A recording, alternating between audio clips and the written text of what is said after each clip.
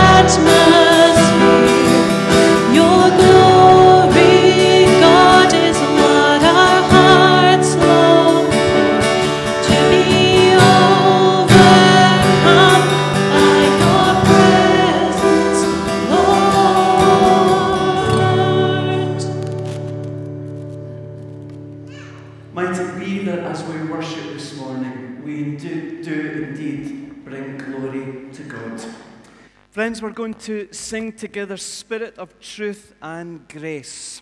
Uh, wonderful words written by a minister down in Lanark, Church of Scotland minister in Lanark, Ian Cunningham. Spirit of Truth and Grace, come to us in this place as now in Jesus' name God's people gather. Let's stand together. We'll sing Spirit of Truth and Grace.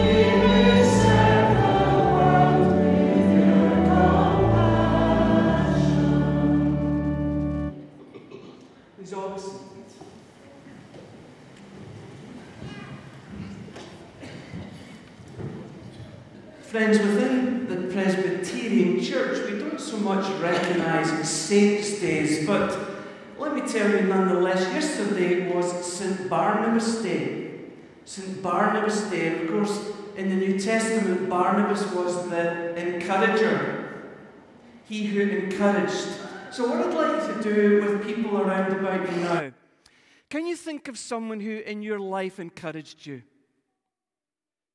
Maybe very generally, or maybe within the Christian faith. Somebody who encouraged you in your journey through life.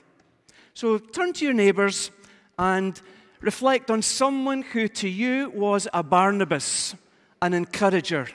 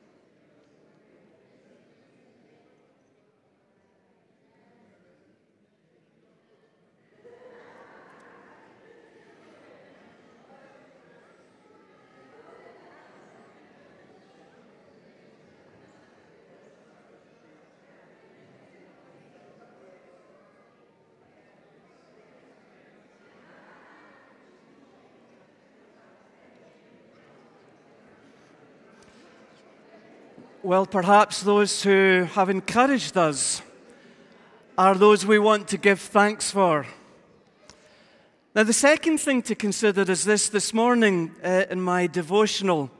Um, I came across this phrase. It said that the purpose of Sabbath, which for we Christians is a Sunday, is that stillness might give way to thankfulness. That as we are still before God, thankfulness might bubble up within us. So, again, with a neighbor or people at your table, what is it, most of all, that you would give thanks for today? Something that's happened in this week, or just something generally in your life. Turn to your neighbors and share together what are you thankful for as you're sat here this morning?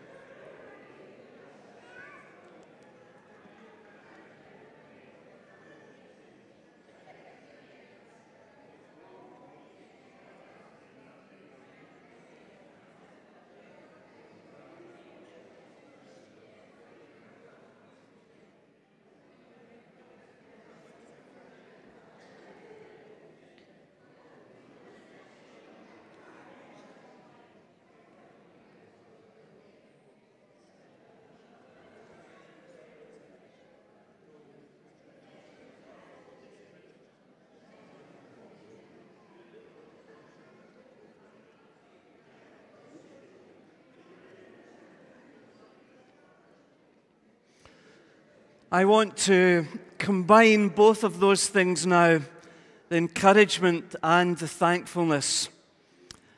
I'll tell you what encourages me almost more than anything that I know there are people praying for me. Uh, people tell me as much that we're praying for you, Martin, regularly as our minister, and that is both an encouragement to me and something for which I'm very thankful for. And I wonder if we might share that this morning. On your tables, there's a small piece of paper, one for, enough for one for everybody at your table. And what I would like you to do is write the names of the people who are at your table this morning. Now, eh, some of you, there are eight around the table, some of you just two or three. And if you don't know the names of some of the people at your table, here's a wonderful opportunity for you to say hello and to actually learn some more names. Write down the names of those who are at your table today. And I'll tell you why in a wee moment.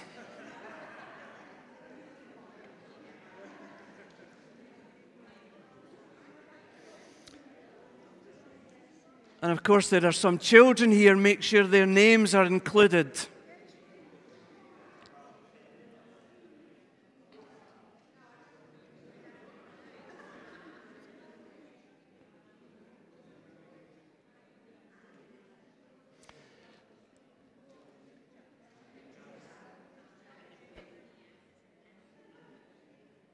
Now, if you're at a table and there's only two or three of you, you could add some other names of people around about if you wanted to.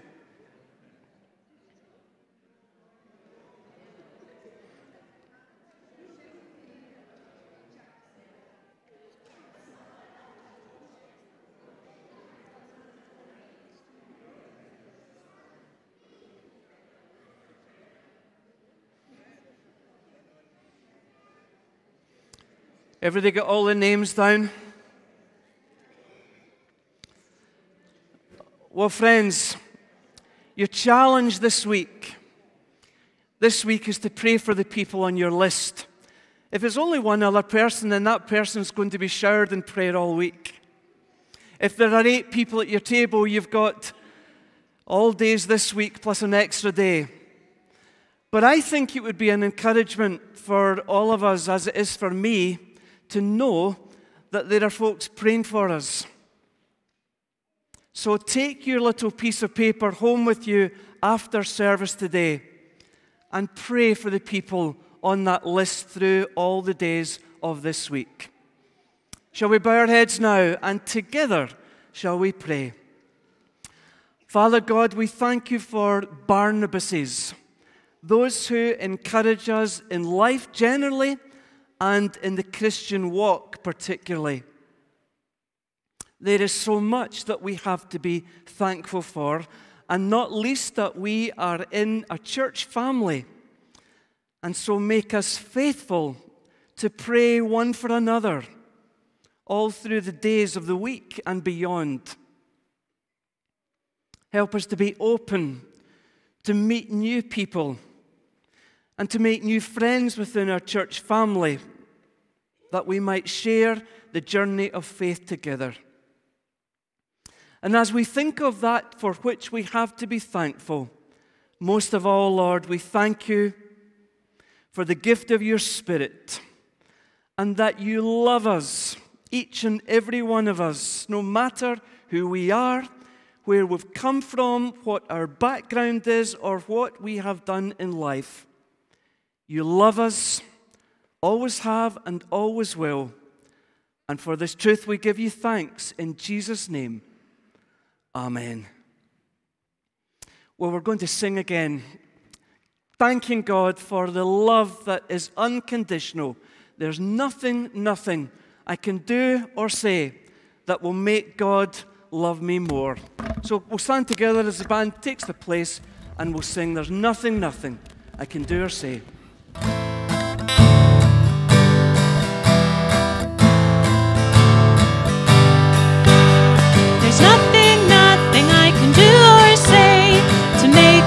Love me more.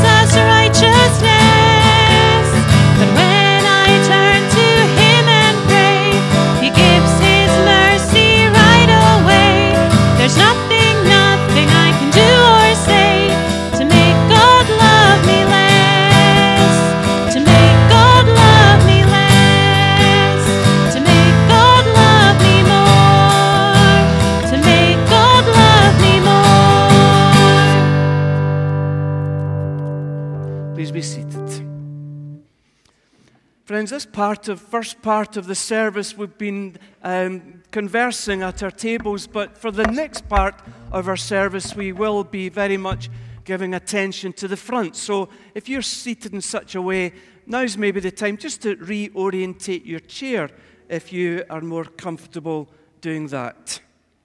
Before our children go through for what is planned for them this morning, uh, one or two notices.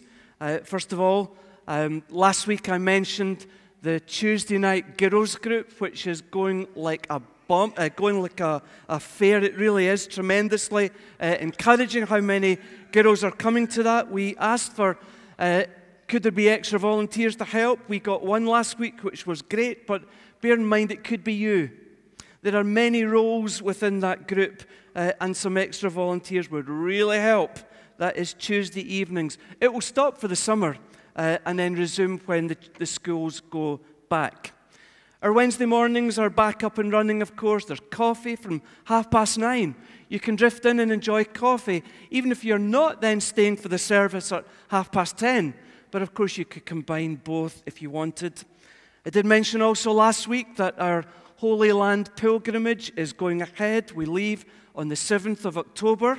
Uh, very much looking forward to it. Uh, there are spaces if MD's thinking, gosh, you know, I've never done that uh, and would like to, then speak to me afterwards and I can help you out with information.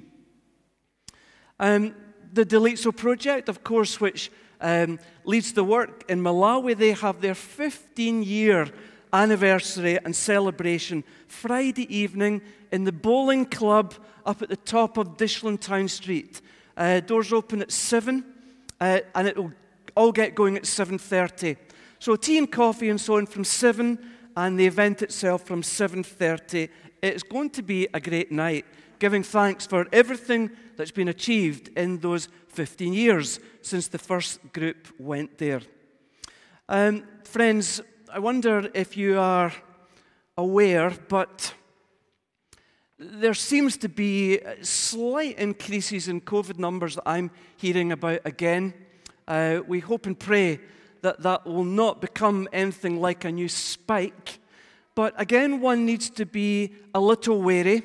Uh, and if you're happier with a mask on in church, do it. Wear your mask, even if you no one much else is. If you want to, you can. If you would much prefer to be in a sort of isolated space, then again, fine you will always be able to find a space in the church where you are slightly more socially distanced. And you can, of course, do as I did this morning take a test, uh, negative. And so we need to be wary. As I say, we hope and pray that there will not be a major upsurge, but we are mindful and cautious nonetheless.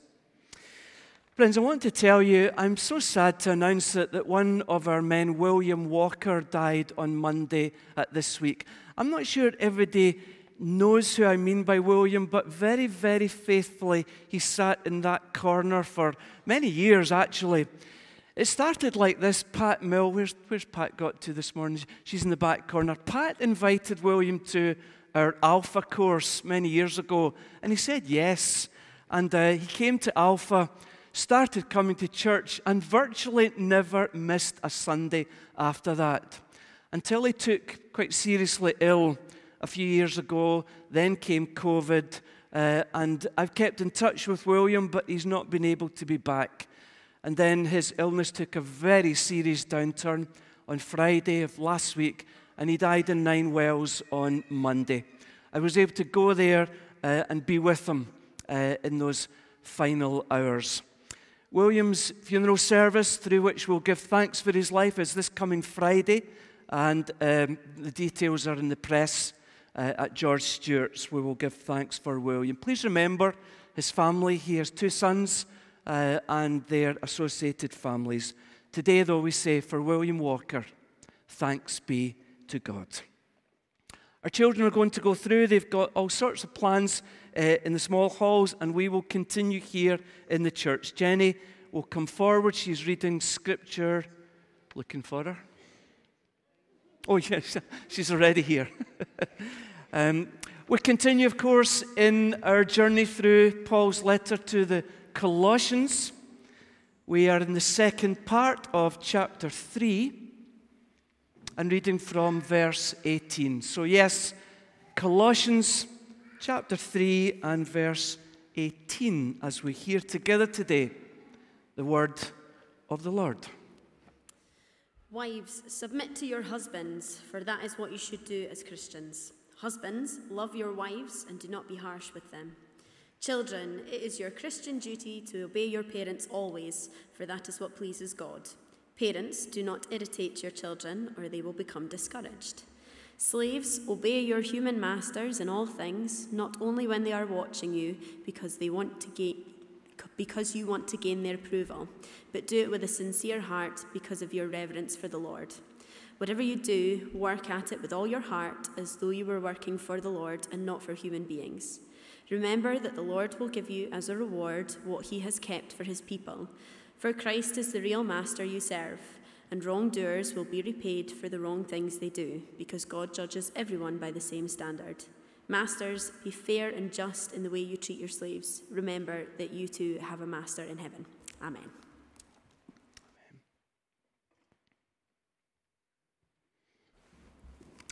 Thank you, Jenny, and thanks be to God for His word. Well, Colossians starts with theory, we might put it that way who Jesus is, what Jesus did, why Jesus matters. And then it moves to the practical. We considered, started to consider that last week, that we are called to live lives worthy of the Lord and pleasing to Him in every way. Folks, that's your wake up call every morning.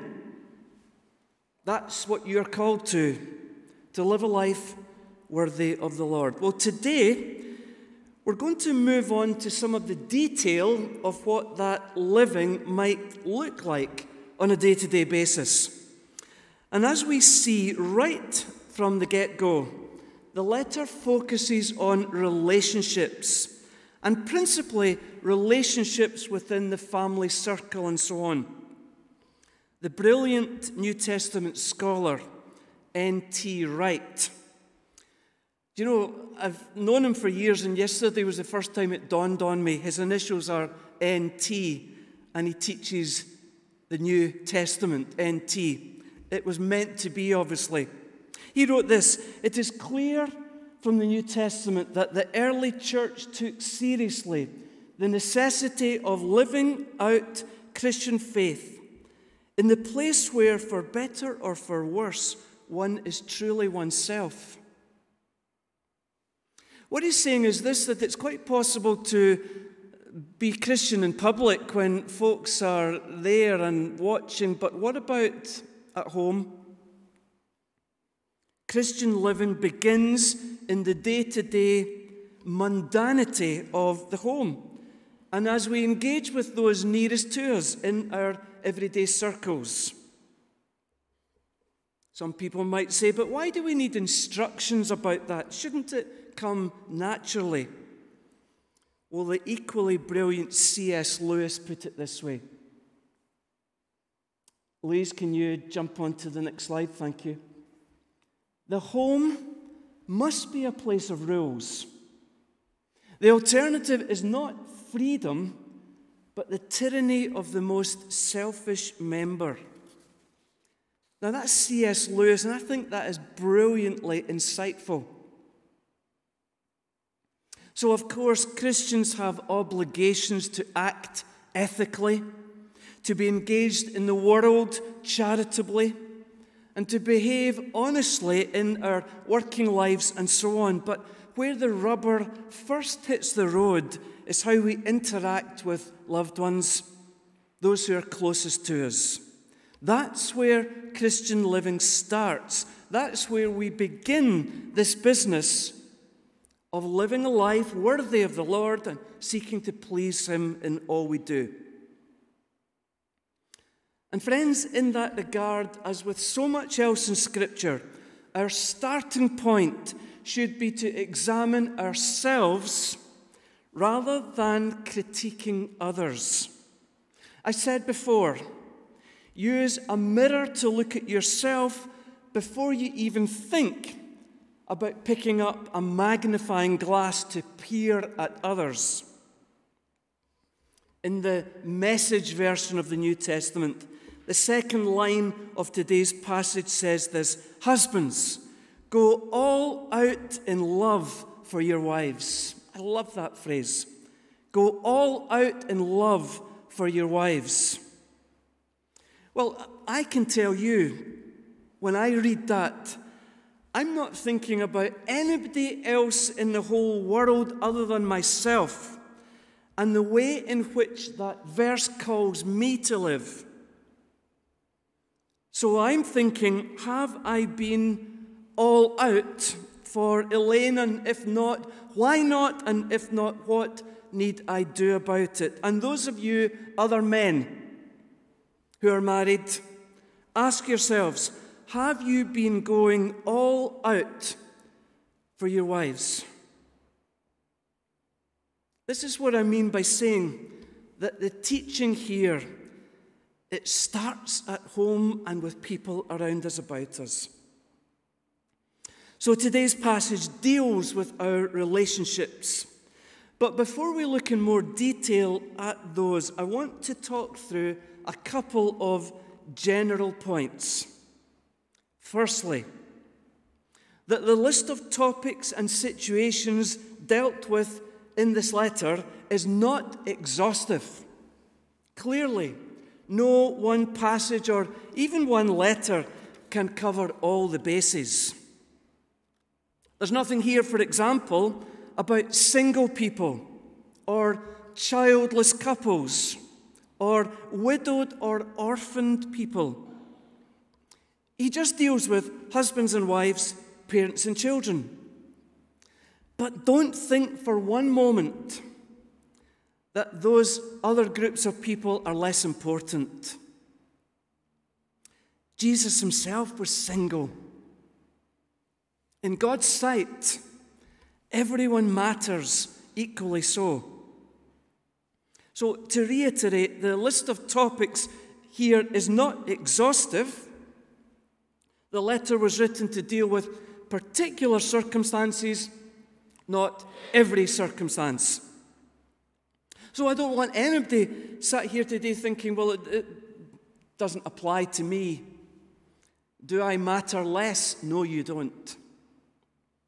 The second general introductory point is this we need to be able to make a clear distinction between what are timeless biblical truths and those pieces of guidance which were offered in the light of the norms of the day, and therefore which are not going to apply today, at least not in the same way. So, for example, here in the letter, we find reference to the owning of slaves. I'm assuming that none of us here is in that position. Look, Paul offers advice to slave owners as to how they are to treat their slaves and to slaves about how they should work for their masters and so on. But, folks, you see, the question that arises is this why didn't Paul condemn slavery? Why didn't he call for its abolition? Why didn't he instruct slave owners to liberate your slaves, free them now? Some people even read scriptures and, and want to have nothing to do with them because they take it to mean that the Bible justifies slavery. Well, of course, it does not. Slavery is an abomination, an evil of the first order. We need to realize, therefore, that what we have when we read the letter to the Colossians is a window into another world in which slave owning was the norm. The idea back then of abolition of slavery would have been beyond anybody's ability to imagine. You might as well have asked them to imagine the internet Of course, it couldn't have been done. So these letters come to us from the way things were. The instructions are, we might say, wrapped up in the culture of the day, and therefore great care is needed when it comes to reading them and interpreting them for our day. I know it's very easy for people to say, but it says it in the Bible. Yes, but we don't live 2,000 years ago in the Asian part of the Roman Empire. We need to pick our way carefully through these letters and distinguish between what is being described and what is being taught. These two are different. Now, you know, today there are still being people, still people being trafficked across our world, modern day slavery. Is anyone going to say that that's okay on the grounds that in the letter to the Colossians, Paul gives instructions to slave owners? Of course we're not. So we read discerning, looking for lessons that are applicable now and not exactly as it was then. So, we don't see everything in these passages as instructional, but neither should we dismiss them out of hand. We believe that all Scripture is useful. And so, our job is to look for the lessons and to ask, how can we apply these lessons to our world today? So, back to the slavery example, most Christian commentators agree the best way to handle these verses is to apply them to the modern day workplace. So, those of you who have jobs, the teaching for you is clear work hard, work honestly, and give it your best shot, even when you are not being supervised. Maybe that's even more important in these days of working from home. It says, written by Paul, whatever you do, work at it with all your heart. Now, there's your instruction for nine o'clock tomorrow morning, or whenever it is, you might be back at work. And if you're a boss, or a manager, or a gaffer, or a supervisor, treat your workers considerately, be fair with them.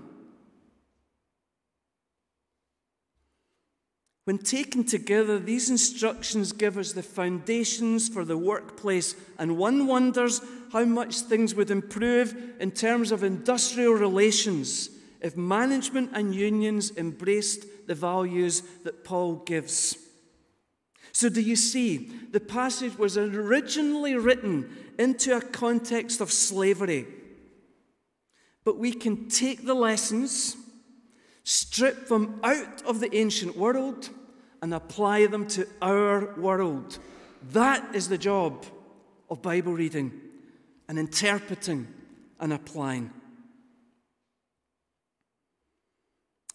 Now we come to the very first line Wives, submit yourselves to your husbands as is fitting in the Lord.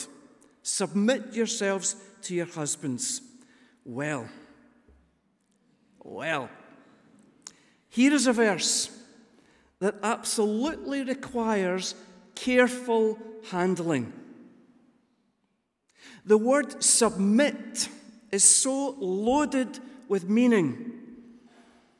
I mean, what would be what's the first thing that pops into your head? I'll tell you what it is for me. I think of wrestling matches. Um, and when one wrestler wears the other one down to the point that he shouts out, I submit, I submit. Heaven forbid that a marriage should be built on that kind of dynamic. And heaven forbid that there is one single married man here today who imagines that this verse gives permission to coerce or manipulate or force or demand or require or dominate or in any way lord it over his wife. or rule over her. Of course, we see that in other cultures. The coming to power again of the Taliban in Afghanistan, one might say, has been a disaster all round, but particularly so perhaps for women, once more denied access to education, once more almost shut away, downtrodden and denied the right to live and to express themselves. Heaven forbid that we see anything of that in the Christian world because we take hold of that word submit and misapply it. And what about the abuse of women that comes on the back of the misuse of the word submit? Monsters like Harvey Weinstein, who, who so abused his power on the casting couch to sexually abuse untold numbers of women. Monsters like Jeffrey Epstein and his associates, and I'll say no more about that, who trafficked young women from all over the world for his own sexual gratification. All of that comes out of misuse of the word submit.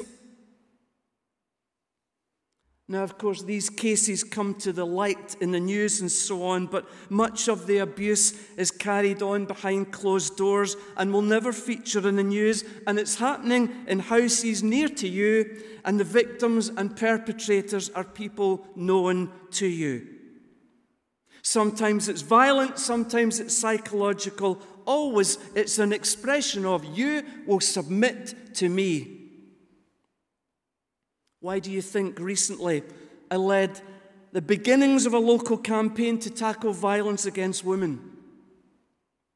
Because I'm Christian, because I read and understand the message of Scripture, and because sometimes you have to do something. We are called to do something. In terms of that abuse, Flee from such inhumanity. Flee from such unchristian behavior, behavior.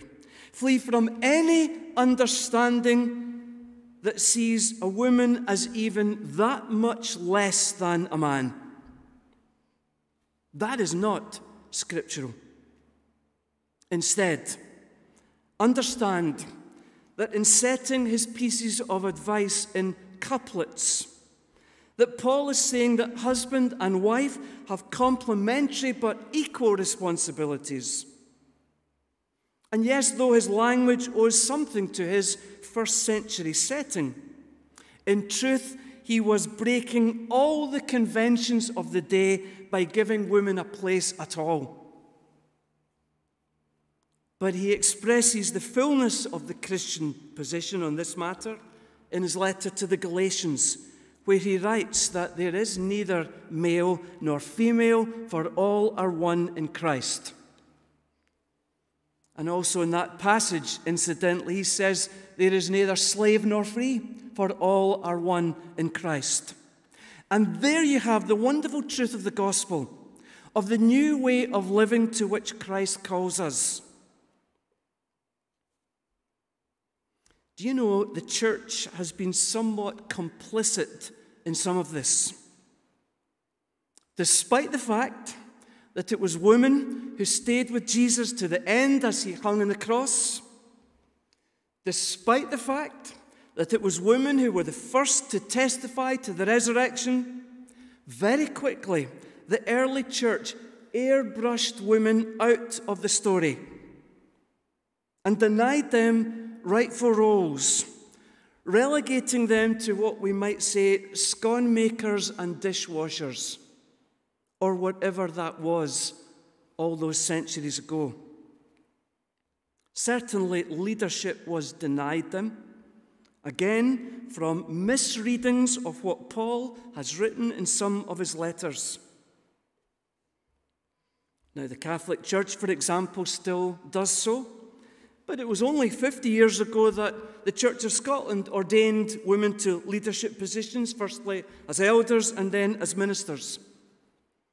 But talking of women in leadership, I had a conversation this week with my friend Tommy McNeil, minister at Martin's Memorial in Stornoway.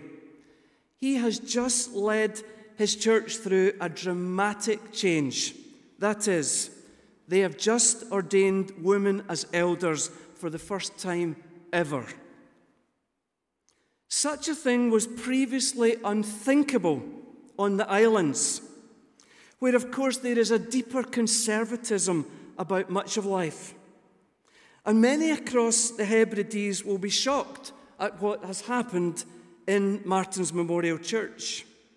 Some may want nothing more to do with Tommy or his church. Some will accuse him of, some have accused him of selling out to the modern world, giving up in the Bible, and so on. But his leadership team has grown in its understanding and now believes that the time absolutely is right. They have freed themselves from such a narrow reading of Scripture. And I hugely admire Tommy's courage in leading this change. From some quarters, he will face considerable criticism. But he's doing the right thing, and he's had my encouragement for sure. You know, friends, much changes through the years. Women elders on the island of Lewis, I never thought I would live to see the day. But it's quite possible that those things which are first seen as selling out to the modern world actually, and in truth, owe more to a greater understanding of who God is and of how God is calling us under the rightful place of all God's people. I'm going to suggest that we'll see many more ways in the coming days in which previous understandings will begin to crumble a little. We should watch with interest. Children, obey your parents in everything, for this pleases the Lord. Father, fathers, do not embitter your children, or they will become discouraged. Incidentally, in the Greek, the word here translated fathers can mean both parents. So you would have to take your pick. I think it certainly doesn't mean that the discipline of children belongs only to fathers. I think it's a shared role as everything else in the home. And on and on the advice goes about how we live together as people and how our relationship should be. And notice it's always complementary, always ensuring the rights and responsibilities of both parties. And though it seems obvious enough for us today, it's hard to overstate how radical this was in its day. That children would be given some sort of uh, role here, some sort of protection almost, as it were. That women would be included in this teaching. Well, in many ways, perhaps the teaching about how to follow Jesus is still radical. It's still an exciting way of life to be called into. Those of us who would aim to live lives worthy of the Lord and to please Him in all that we do. It starts with those nearest and dearest to you.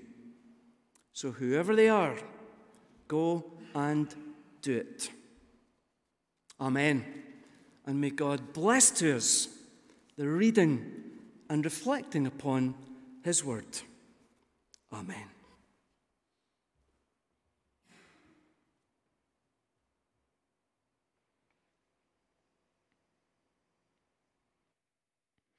Before our closing praise, we're going to pray into the world. Various things are in my mind. Yesterday, here in our town, there was a, a remembering of 40 years since the Falklands conflict.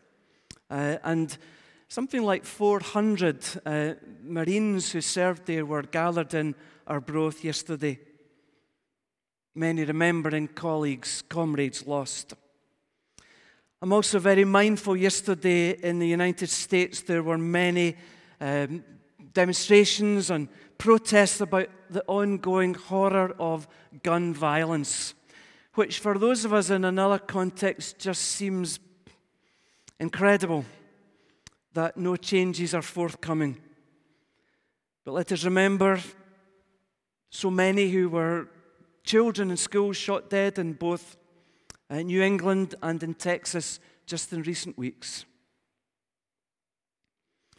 Yesterday, I saw in the news that a man had gone into the sea in Wales uh, to try to rescue two children who had got into trouble by a, a riptide current. He saved the two kids, but he died. Not his children, he saved two other kids, and his life was lost. He drowned. So much mourning there. And then I suppose nearer to home and somewhat less dramatic, but remember, we're called to pray for one another. Uh, Chris messaged me this morning to say that him and Lisa Marie would not be in church. They weren't here last week and again today. Lisa Marie has been really poorly. Uh, and he said he was up with her all night last night. Uh, she is quite ill. So let's pray for Lisa Marie. We, we baptized her here just a few weeks ago, and it's our responsibility to be in a church, to pray for our number. No doubt there are a hundred other things as well. But let us focus there this morning. Shall we pray?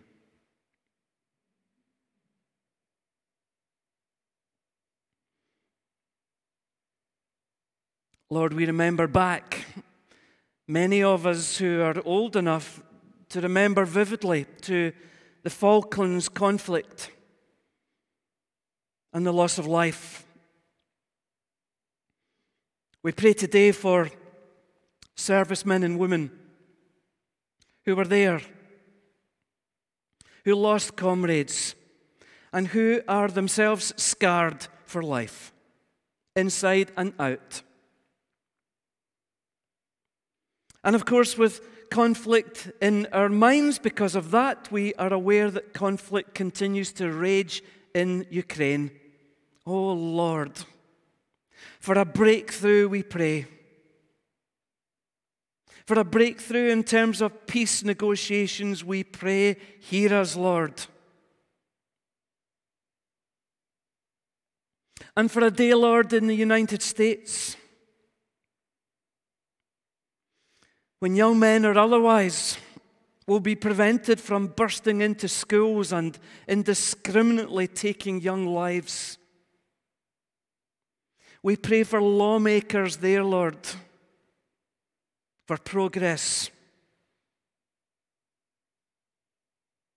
Today we remember the family of the man in Wales whose life was lost in saving children. Bless them, Lord, in their bereavement. And may there be a degree of comfort in knowing how selflessly he spent his final moments. Lord, we pray for Lisa Marie that she might be well again very soon and back with us in church. And the same for all those of our family and those known to us who are unwell at this time. Your healing, Lord, and for it we pray. These are our prayers. We ask them in Christ's name. Amen.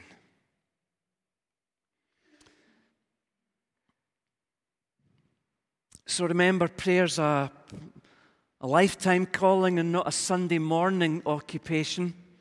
So take these little pieces of paper away with you today and be praying through the week for these names and for other situations as they arise.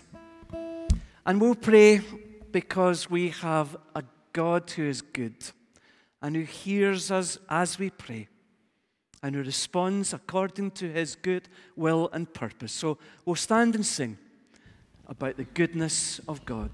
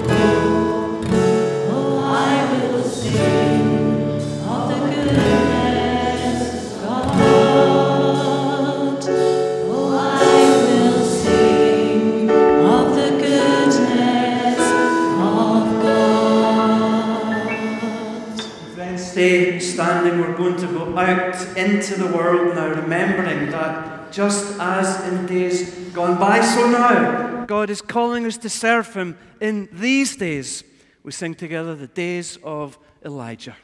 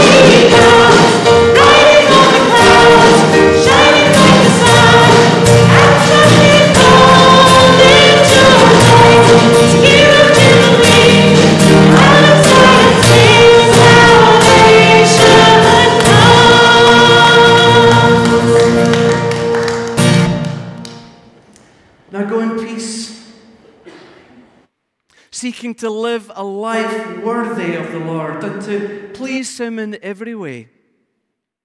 And as you go, may the blessing of God Almighty, Father, Son, and Holy Spirit be with you all and remain with you today and forevermore. Amen. Friends, please be seated. A couple of extra things just to announce to you. Uh, last Sunday, we had a wonderful afternoon. The sun shone brightly. There was just enough breeze for uh, our kites to fly uh, above Victoria Park, and it was warm and everything we would have expected.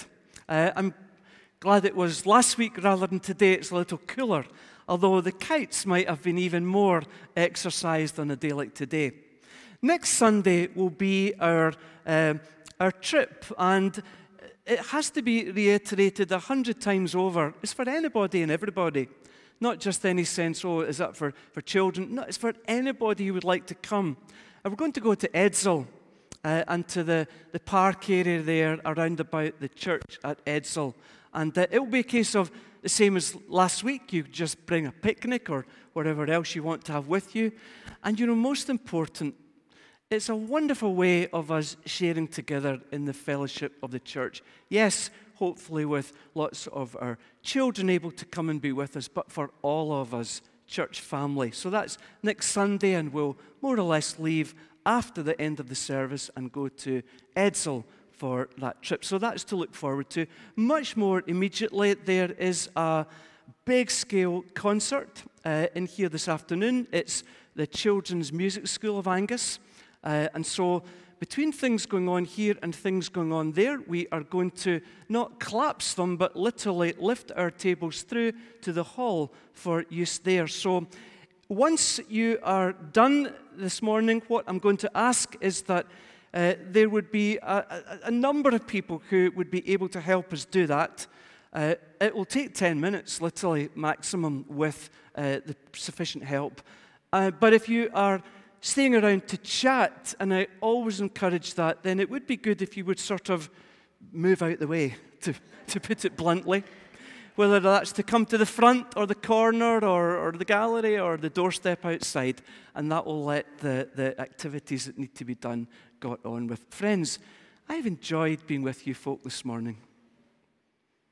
I mean, amongst everything else that church is, it's good to be together. And thank you for coming. And thank you for being part of worship. But it doesn't stop here, does it? It's how we live our lives. So go and do it. Thank you very much.